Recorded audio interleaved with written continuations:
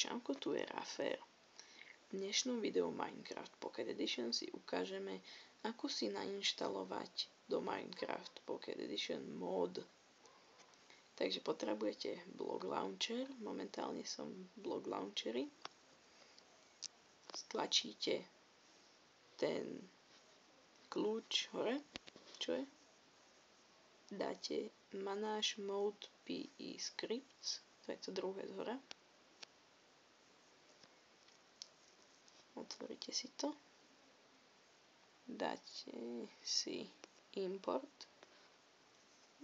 Podľa toho, odkiaľ ste si moc stiahli, či ste si prekopírovali web adresu alebo stiahli mod alebo niečo podobné, tak odtiaľ si to dáte. Ja som si moc stiahol tak, že je u mňa v zariadení, takže dám local storage dám si sem download.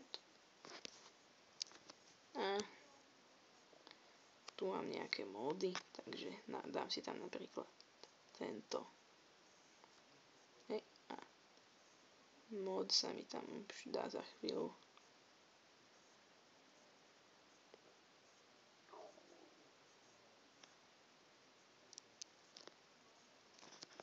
A, tak asi ho tam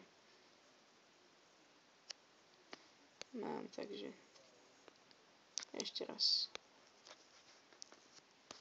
Takže dáte si to import, pôjdete do toho, kam ste si to stiahli, ja idem do local storage, dám download a dám si tam ten mod. Hej, a už ho tu mám, tento. Tak. A máte tam ten mod, čo ste si stiahli. Takže ďakujem, že ste si pozreli toto video. Lajkujte, subscribeujte. Takže čauko.